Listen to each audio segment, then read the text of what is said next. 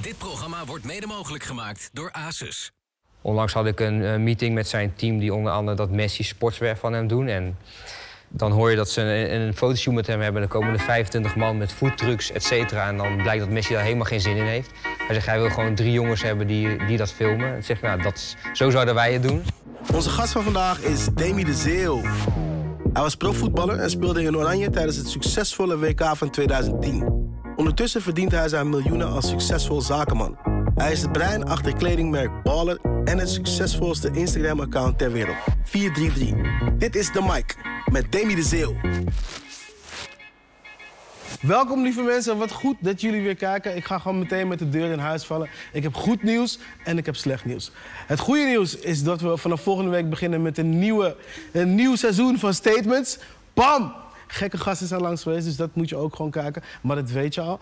Het slechte nieuws is dat dit de laatste aflevering is van dit seizoen van The Mike. Maar wij zouden wij niet zijn als we niet afsluiten met een klapper. Want kijk wie er naast mij zit. Oud voetballer, ondernemer extraordinair. Laat je horen alsjeblieft voor Davy de Zeel!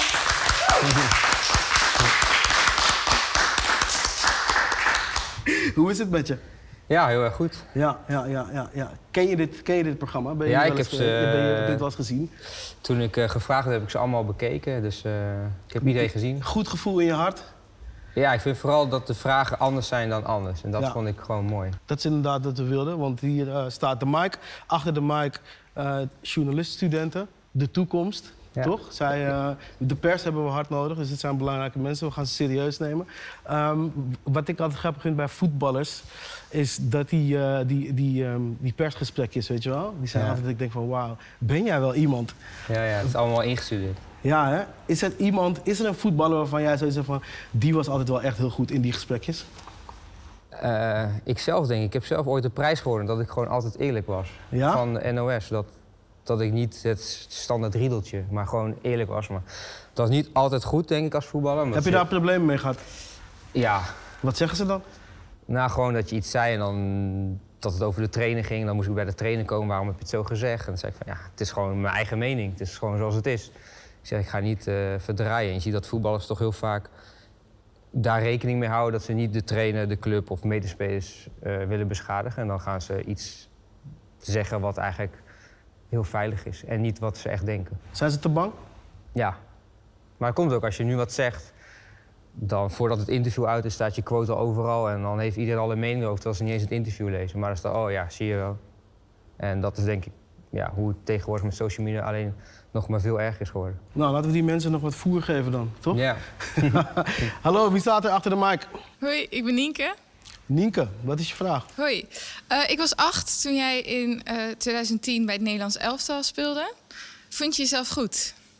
Ik denk op dat moment was, denk ik, voor die schop, dat ik die schop kreeg, was ik denk ik op mijn allerbest. Je noemt de schop. Wat is een schop voor mensen die niet weten wat er gebeurd is? Eh, we speelden in de halve finale op het WK in Zuid-Afrika in Johannesburg. En het was volgens mij 34e minuut of zo. En eh zijn corner voor Uruguay. Ik wilde de bal eigenlijk eh, vanuit de corner wegkoppen.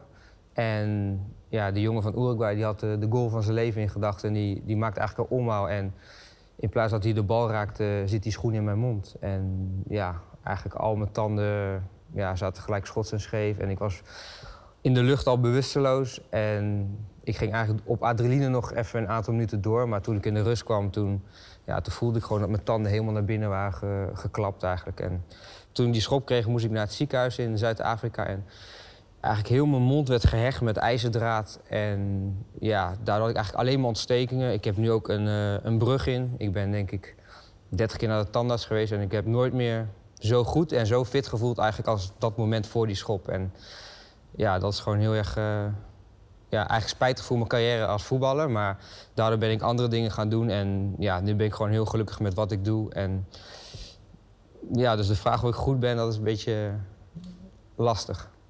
En je hoort toch veel dat er eh, voetballers failliet gaan. Eh, dat is bij jou wel anders. Hoe kijk je er tegenaan? Het probleem is met voetballers vaak dat ze eh, met jongens opgroeien. En die komen uit de buurt. En op een gegeven moment verwachten jongens ook dat jij hun gaat helpen. Want hun zijn altijd voor jou geweest en jij gaat hun ook helpen. En dan komt de eerste die zegt, ja, ik heb een goed idee, ik wil dit of dit beginnen. Dan denk je, oké, nou, ik investeer een beetje hierin. Dan komt de ander die zegt, ik ga een kledingmerk beginnen, kan je investeren. Zeg je, oké, hier heb je weer wat geld. En op een gegeven moment stop je. En dan heb je in één keer het probleem dat je niet meer zoveel geld hebt als daarvoor. En het komt ook niet meer binnen, want op een gegeven moment stop je gewoon en is het klaar. En ik denk dat ik op tijd wist dat ik met het geld dat ik verdiende, ik verdiende in Rusland heel veel geld, dat ik gewoon andere dingen meteen ging doen. Gewoon investeren in, in vastgoed of in een bedrijf starten zoals we nu hebben. En de kennis die, eigenlijk, die ik nu zelf heb geleerd, die wordt eigenlijk nooit aan voetballers uitgereikt. Niemand die voetballers helpt van zegt, oké, we gaan dit met je geld doen of we gaan dat doen. Er zijn jongens die verdienen miljoen, 5 miljoen, 6 miljoen, maar die hebben niet eens een CEO. Je ziet hier bedrijven met 5 tot omzet, die hebben een CEO, CFO, noem maar op. En dat is bij voetballers helemaal niet het geval. En ik denk dat het nu wel meer speelt, dat er meer uh, banken, uh, mensen uit de financiële wereld om de voetballers heen hangen. Dat ze beter met hun geld omgaan, maar nog niet iedereen is daarvan doordrongen. Dank jullie wel. Dank je wel. Wie staat er achter de mic? Hallo, ik ben Joy. Uh, en mijn vraag was, met 433 staan jullie op de derde plek van Instagram-accounts met de meeste interactie. Dat is hoger dan Cristiano Ronaldo, Kim Kardashian en Ariana Grande. Uh, wat is jullie geheim? Kun je ook even uitleggen wat 433 is? Ja, uh, 433 is eigenlijk een, ja, een voetbalcommunity op, die we eigenlijk op social media zijn gestart. En volgens mij zijn we nummer 1. Ik weet niet waar jij de onderzoek, maar Tubalove zijn wij uh, ja, echt veruit de grootste ter wereld qua likes, engagement uh, en views ter wereld. En wij bereiken ja, een paar miljard mensen per maand en per week ongeveer 1,1 miljard. En ja, dat komt eigenlijk omdat wat wij doen is overal wat we posten, zorgen dat er engagement op komt. Dus we posten heel veel stories en een ja of een nee is al een interactie als engagement. Dus ja, daar zijn we gewoon. Uh, wij weten gewoon heel goed wat scoort. En daardoor zijn we nu echt de allergrootste. En ja, nu zijn we eigenlijk op het punt dat we naast de hele mooie grappige content, dat we nu ook echt hele mooie documentaires gaan maken. En we willen nu meer echt naar een productiehuis worden waar we eigen formats, eigen programma's gaan, gaan maken. En ja, die interactie is leuk, maar uiteindelijk, als je ziet wat wij qua geld verdienen met video, is dat echt helemaal niks. We hebben afgelopen jaar alleen maar gefocust op groei. Om echt inderdaad die allergrootste ter wereld te worden. En nu gaan we kijken, oké, hoe gaan we uh, eigenlijk geld verdienen met deze de volgers? Uh, dat is eigenlijk ook gelijk mijn volgende vraag. Omdat je nu aangeeft dat uh, jullie niet zoveel geld verdienen met, een, met jullie Instagram-account. Maar hoe kan dat dan als jullie al zo groot zijn? Omdat dat niet onze focus was. Onze focus was alleen maar groeien, de grootste worden. Zorgen dat we net genoeg verdienen dat we steeds nieuwe mensen kunnen aannemen.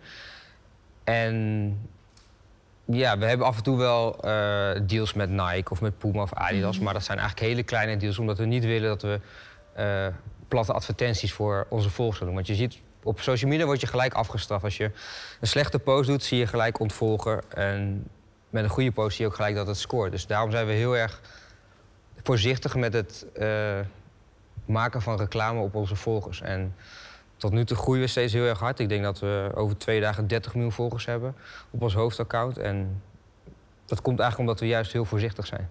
Oké, okay, dankjewel. Graag gedaan. Wie staat er achter de mic? Hi, ik ben Hielke.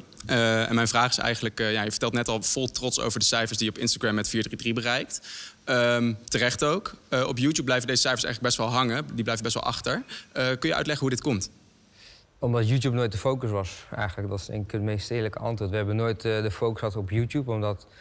Ja, met Instagram zijn we echt de, de allergrootste. En we gaan nu wel meer content maken, ook voor YouTube. Maar je ziet gewoon dat het heel moeilijk is om mensen van Instagram naar TikTok of naar YouTube of naar andere kanalen te brengen. Dus ik denk dat je op YouTube een hele andere strategie moet hebben dan, uh, dan op Instagram. En daarnaast waar YouTube uh, heel goed voor is, is echt mooie dingen. Ik denk niet zozeer dat mensen nog zitten te wachten op echte memes zoals wij nu met 4-3 doen. Ja, YouTube was nooit mijn focus. Eigenlijk, Instagram was eigenlijk altijd de focus. En je ziet dat IGTV, als we daar iets op posten, dan hebben we 3 miljoen views. En als we op YouTube iets posten, hebben we misschien 50.000. Dus en komt dat dan niet omdat je te laat bent begonnen met YouTube? Want Instagram is natuurlijk al helemaal opgebouwd en nu komt YouTube er nog een beetje achteraan. Nee, ik denk dat op YouTube, als je gewoon goede content maakt, dan groei je vanzelf. We hebben gezien dat we twee video's hebben, die scoren nog steeds elke dag heel erg goed. En als we gewoon meer van dat soort content gaan maken, dan gaan we gewoon daar ook beter scoren. En eigenlijk is onze focus altijd op Instagram geweest. Ja. Zijn er naast YouTube, waar jullie dan nu meer op gaan focussen, ook nog andere platformen waar jullie je nu in de toekomst toch meer op willen focussen? Um, nou, ik vind wel Spotify is wel iets wat, wat je zou niet per se denken aan 4-3, maar we hebben onder andere laatst een, uh, een song met Chesto gereleased. Omdat wij, ja, we hebben zoveel views, dus we gingen gewoon testen. Oké, wat kunnen wij met deze volgers doen? En toen gingen we gewoon zijn nummer de hele dag pushen, pushen, pushen. En dan zie je wel duidelijk dat hij echt een, een, ja, echt een lift ziet in zijn, in zijn uh, Spotify-luisteraars. En dat is wel iets waar ik meer, meer mee wil gaan doen, ook met podcast. En ja, dat is gewoon iets wat we aan het testen zijn. Van oké, hoe ver kunnen wij daar onze eigen artiesten gaan pushen op ons eigen kanaal? Als we onder ieder nummer zijn, zijn nummer doen of ons eigen nummer, hoe kunnen we dan uh, daarmee groot worden? Je ziet nu steeds meer rappers uh, die een eigen label starten, omdat ze ook gewoon de rechten bij henzelf willen houden. En dat is iets waar, ja, waar ik ook naar aan het kijken ben. Oké, okay, dankjewel. Graag gedaan. Wie staat er achter de mic? Dag Willy, fijn om hier weer te zijn. Uh, ik ben Rick. Uh, dag Demi. Hey. En met clubs als Ajax, AZ en Spartak Moskou heb je een heel mooi rijtje aan clubs op je lijstje staan. Maar is er een club waar je eigenlijk nog wel voor had willen voetballen? Was het anders gelopen? Uh, ja, Barcelona is mijn droomclub, maar... Doet het ja. pijn dat dat niet is gelukt? Nee, het doet helemaal geen pijn. Ik ben realistisch genoeg dat ik niet goed genoeg zou zijn voor Barcelona. Maar dat is wel echt mijn droomclub. En, uh, maar ik weet ook, als ik in het Nederlands elftal met jongens als Van der Vaart, Van Persie, Robben... dan voel je dat is gewoon echt de absolute top. En ik was dat niet. Ik denk dat het Nederlands elftal wel mijn plafond was waar ik mee kon. En op zich ook goed mee kon. Maar echt om speler van Barcelona te zijn, moet je wel echt heel goed zijn. Oké, okay, dankjewel. Graag gedaan. Hey, wie staat er achter de mic? Hi, ik ben Marlon. Um, en we hebben al best wel een aantal bedrijven van je gehoord. Maar je hebt nog een bedrijf, Wannahaves. Uh, waar de social media strategie doet van uh, merken en voetballers. Uh, en ik was wel benieuwd, stel Messi die belt morgen en die zegt... ik wil dat jullie mijn social media gaan doen. Hoe gaat het dan in zijn werk? ja, goede vraag. Ja, we werken nu wel met een aantal partijen die dingen rondom Messi doen. En het zou voor ons heel goed zijn als hij bij Barcelona blijft. Omdat we gewoon een aantal mooie campagnes met hem uh, hebben. En ja, eigenlijk hebben we meestal een gesprek met een manager. En dan gaan wij eerst gewoon kijken, oké, wat wil hij? Wie is hij? En ja, als je nu naar Messi kijkt, zie je iemand die eigenlijk heel afstandelijk is. Die eigenlijk niks persoonlijks, nooit persoonlijke interviews, nooit echt grappige dingen laat zien. Terwijl je, als je zo'n social media zou doen, dan zou je eigenlijk meer daarop moeten focussen. Gewoon, wie is Messi nou echt? En ja, dat zijn dingen die wij dan helemaal uitrollen met content, met, uh, met zijn team. Wat vindt hij zelf leuk?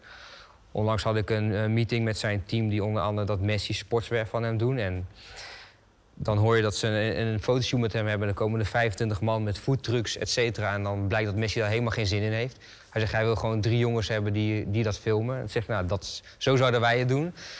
Terwijl grote merken vaak met heel die foodtrucks komen. En ja, voetbal zit daar gewoon niet op te wachten. En ik ben zelf voetballer geweest, dus ik heb nu vaak als wij briefings krijgen voor Warners, voor voetballers of voor merken, dan weet ik zelf vaak wat leuk is of wat niet leuk is en waar voetballers wel of niet op zitten te wachten. En daardoor begrijp ik ook wel een beetje hoe een social media werkt. Alleen je hebt voetballers die trekken zich van niemand wat aan en je hebt voetballers die heel erg bang zijn. Bijvoorbeeld uh, Pogba denk ik een goed voorbeeld.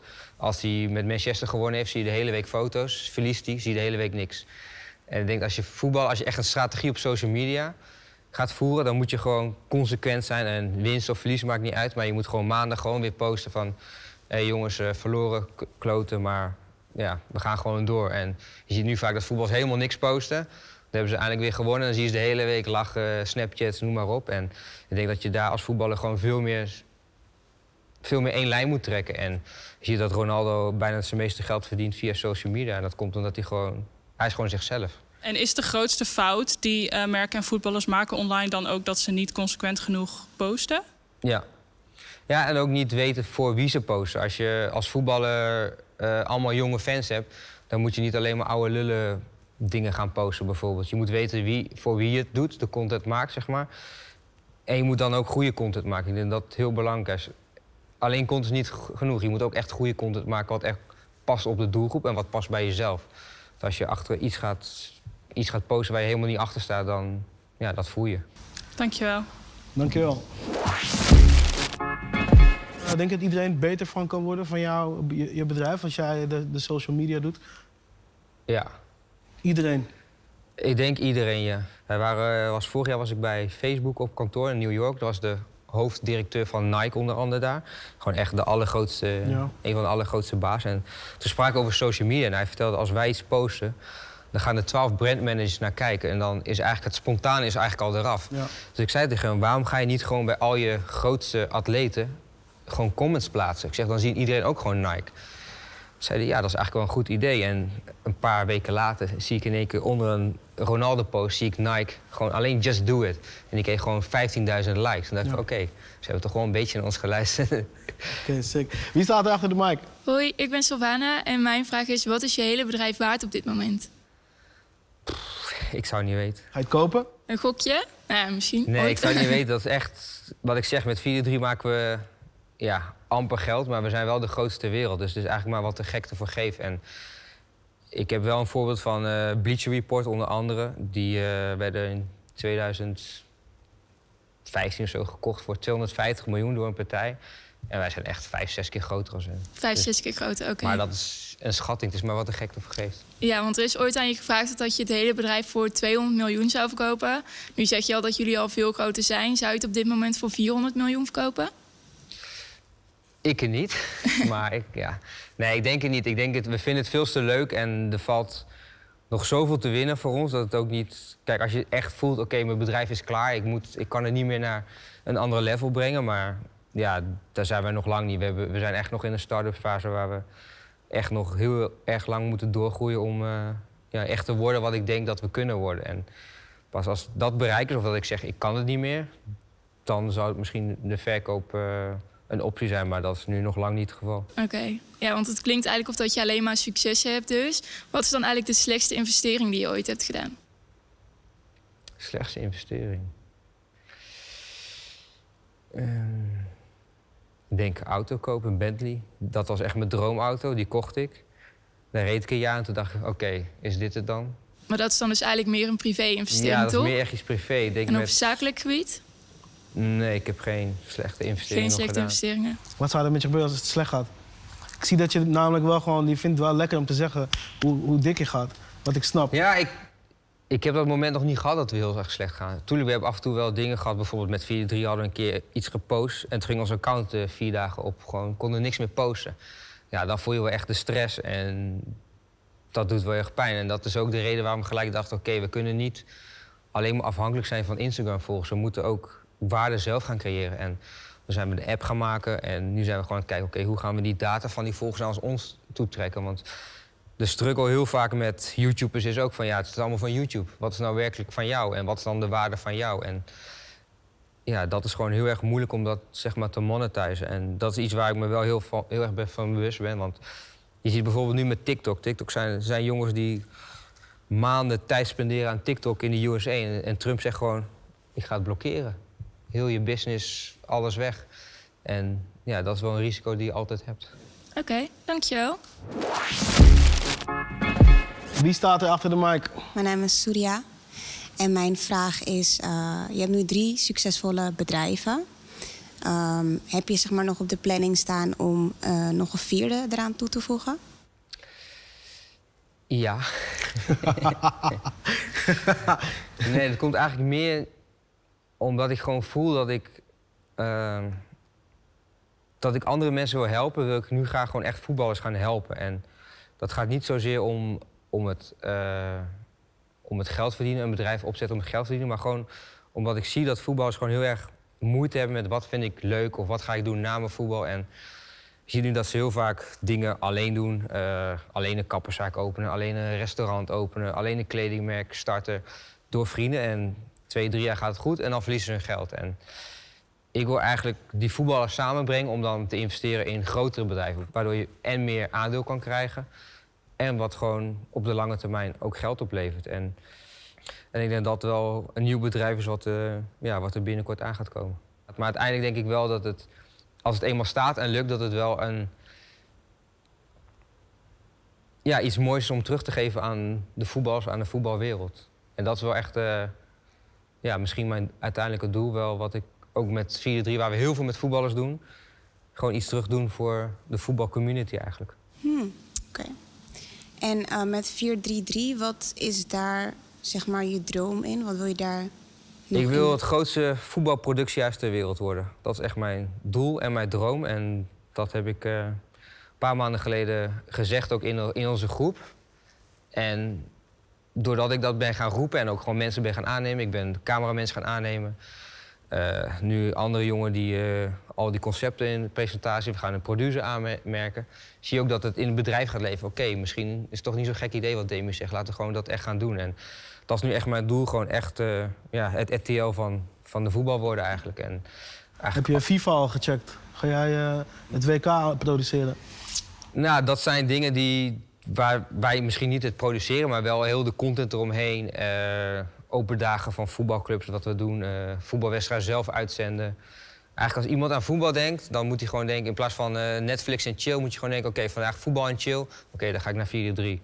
En dan moeten podcasts, boeken, spelletjes, quizzen, eh, documentaires... eigenlijk alles qua voetbal moet daar uiteindelijk in zitten. En dat is ja, mijn ultieme droom. Mooi. Dankjewel.